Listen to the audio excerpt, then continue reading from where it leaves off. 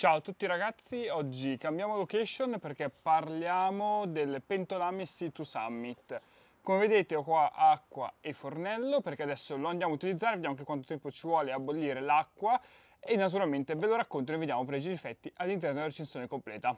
Iniziamo subito facendo bollire dell'acqua. So che la differenza la fa il fornello, ma da oggi per quanto riguarda questo tipo di recensione utilizzeremo sempre lo stesso fornello e la stessa bombola. Per intenderci sono il fornello e la bombola di Decathlon, quindi utilizzeremo sempre loro.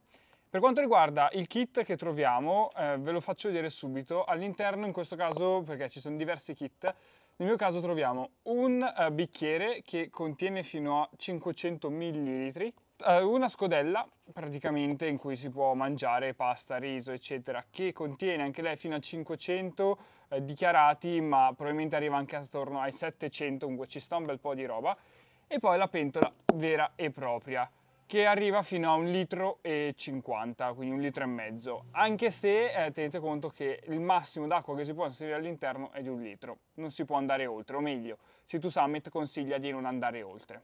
Partiamo subito, così nel frattempo poi mentre bolle vi racconto il pentolame, vado a mettere esattamente un litro d'acqua all'interno della padella, poi tenete conto che con un litro d'acqua ci si può fare qualsiasi cosa, quindi io ho messo un litro in un litro d'acqua, praticamente con i pasti liofilizzati potremo cuocerci di tutto e di più e farci anche un piatto di pasta più classico. A questo punto vado a chiuderlo col suo coperchio, mettendo anche i, le alette laterali, così. Ecco, questo è un grosso problema che ho riscontrato ed è capitato subito in diretta.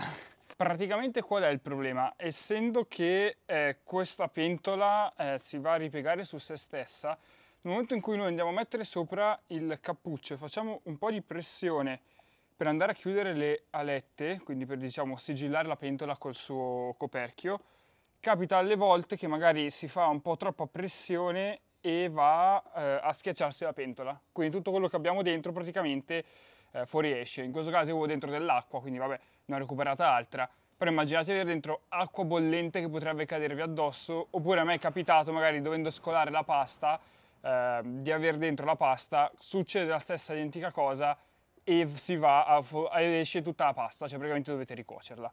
È un grosso grosso problema, vi assicuro è un problema e a me è capitato fin troppo spesso. A questo punto, visto che ho perso acqua, devo andare a rabboccarla torniamo al nostro litro e lo richiudo sperando che non risuscita la stessa identica cosa. Ok. E andiamo a bollirla quindi. Ok.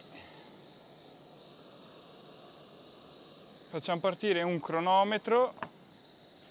Così vediamo in quanto tempo bolle. Innanzitutto vi racconto parte inferiore della nostra pentola è in acciaio inossidabile naturalmente perché ci andrà contro il gas quindi eh, deve essere in acciaio inossidabile mentre tutto il resto è fatto in silicone. Un silicone comunque che non si va a decomporre anche ad alte temperature. Come vi dicevo la pentola si schiaccia per diventare più piccola, è una pentola che eh, può portare, come dicevo, fino a un litro massimo, bisogna fare molta attenzione quando lo utilizziamo perché ci sono delle norme di comportamento, ovvero eh, bisogna aspettare, una volta che abbiamo scaldato la nostra acqua, bisogna aspettare una trentina di secondi prima di poterla toccare perché sarà bollente anche tutta la pentola, compreso il coperchio e tutto il resto dobbiamo fare attenzione che non esca eh, la fiamma attorno alla nostra pentola, quindi la fiamma non deve arrivare sulle parti laterali a contatto col silicone e soprattutto dobbiamo fare attenzione che possa fuoriuscire del vapore caldo, perché comunque qua ci sono dei bucherellini per poi andare a scolarla e naturalmente bisogna fare attenzione che non esca il vapore caldo. È una pentola per quanto riguarda la manutenzione che non si può lavare in lavastoviglie, va lavata a mano è comunque abbastanza semplice, mh, mm, davvero anche pulendola in qualche ruscello eccetera non abbiamo grossi problemi. L'unico punto in cui tende ad accumularsi un pochino di sporco è dove c'è in rilievo scritto un litro, un litro e mezzo, mezzo litro eccetera, che essendoci un po' di rilievo si accumula un po' di sporco. Però per il resto è molto molto semplice pulirla eh, a mano, mi raccomando, mentre queste altre, le altre due date in dotazione si possono pulire anche eh, in lavastoviglie, questa no. Io sinceramente la sto utilizzando da più di un mese, eh, non ho avuto problemi di graffi, anche io utilizzandola, buttandola nello zaino così, eh, nessun problema di graffi, quindi da questo punto di vista sicuramente una pentola che durerà nel tempo. Vediamo un attimo se sta bollendo, ci siamo quasi, quindi comunque molto molto veloce. E come vi dicevo bisogna fare molta molta attenzione perché la parte in silicone tende a scaldarsi anche lei, si scalda molto, dobbiamo aspettare anche forse un minuto una volta che l'acqua è arrivata a ebollizione, però comunque ci vuole davvero davvero poco. Ok, in questo momento l'acqua sta iniziando a bollire, siamo a due minuti e mezzo, quindi diciamo due minuti e mezzo ci sono voluti.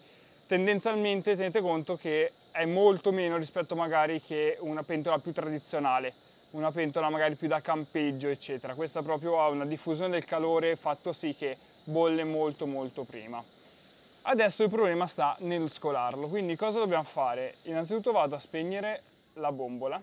Devo aspettare almeno un minuto perché davvero anche toccandola qua nella parte laterale posso toccarla qua in alto magari togliere il coperchio eh, nessun problema. Però le parti laterali sono veramente veramente calde quindi aspettiamo Dovremo successivamente, se eh, siamo andati a mettere all'interno eh, del cibo, eccetera, riandare a chiuderla, quindi riutilizzare gli stessi laccetti laterali per chiudere il coperchio. E fate molta attenzione perché in questo caso l'acqua all'interno è davvero calda, quindi c'è il rischio davvero di bruciarsi. Per quanto riguarda invece, visto che intanto aspettiamo che si raffredda eh, la bontola, vi racconto le due scodelline che troviamo in confezione. Il bicchiere è abbastanza generoso come dimensioni, nel senso se vi fate un tè, eh, comunque ci sta dentro mezzo litro d'acqua, quindi un tè da mezzo litro d'acqua è abbastanza. Anche lui si scalda tutta la parte attorno, quindi quando lo dovete andare a prendere non potete impugnarlo normalmente come se fosse un bicchiere, ma dovete prendere nella parte superiore dove c'è la banda grigia, che è plastica più spessa e lì non si scalda. Tendenzialmente comunque tiene abbastanza il calore, eh, se vi fate un tè per 5 minuti lo tiene caldo senza nessun problema, non diventa subito freddo, poi dipende anche dalle condizioni atmosferiche in cui siete. Ho trovato molto utile anche la padellina, eh, questa non è possibile metterla sul fuoco, mi raccomando, e non dovete metterla a cucinare perché sennò la bruciate.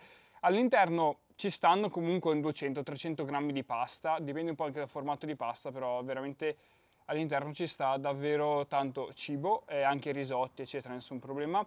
Anche lei ha il medesimo problema che se mettete all'interno delle zuppe tenderà a scaldarsi e quindi dovrete assolutamente appoggiarla per poter mangiare, non riuscite neanche a tenerla nella parte inferiore.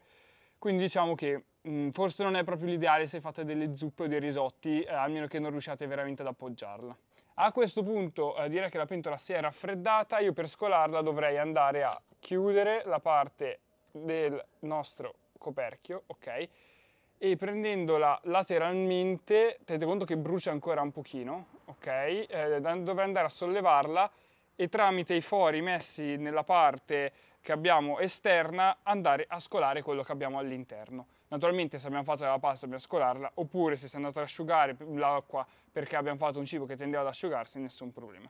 Nel caso dovessimo fare un tè, a questo punto eh, io vabbè, ho fatto bollire l'acqua, prenderei il bicchiere e gliela farei cadere semplicemente dentro. Come vi dicevo devo sollevarlo dalla parte esterna perché in questo momento la parte laterale inizia a diventare bella calda, riesco a sollevarlo solamente dalla parte esterna. E così andiamo a cucinare. Secondo me è un kit che per una persona è anche fin troppo, nel senso se si va in due si riesce benissimo a utilizzarlo, a mangiare. Da soli probabilmente, eh, ad esempio la scodella potrebbe non servirci. In generale secondo me è un kit che svolge bene il suo lavoro, eh, porta a ebollizione l'acqua abbastanza velocemente, alla fine pensato per il trekking, quando nel trekking comunque praticamente eh, dobbiamo bollire quasi sempre l'acqua per farla mangiare, quindi questo basta e avanza, è leggero, comunque leggero, nello zaino occupa veramente poco peso, quindi diciamo che ha delle, sicuramente delle feature per il trekking pensate veramente molto bene. Per quanto riguarda il prezzo, eh, sito Situ Summit secondo me viene venuto sugli 80-90 euro, online lo si trova a 67 euro. Secondo me ci sta perché comunque è veramente molto leggero e occupa poco spazio. Poi comunque pensate che è per due persone, quindi se tendenzialmente vogliamo smezzare anche il costo sono 35 euro a testa, quindi ci stanno. Questo è tutto per quanto riguarda il kit cucina. Eh, io ve lo consiglio solamente se fate trekking o true hiking. Per quanto riguarda l'alpinismo ve lo sconsiglierei perché va utilizzato eh, solamente un fornello tradizionale e che quindi se c'è tanto vento eh, tendenzialmente l'acqua si bollirà molto più lentamente. Campeggio, sì, ci può stare, ma penso che le pentole da campeggio in quel caso siano decisamente migliori, quindi secondo me mm, per il trekking è davvero ottimo. Mi raccomando, fate attenzione però soprattutto quando andate a chiuderlo che non vi si chiuda la pentola perché se vi succede come è successo a me prima è un casino.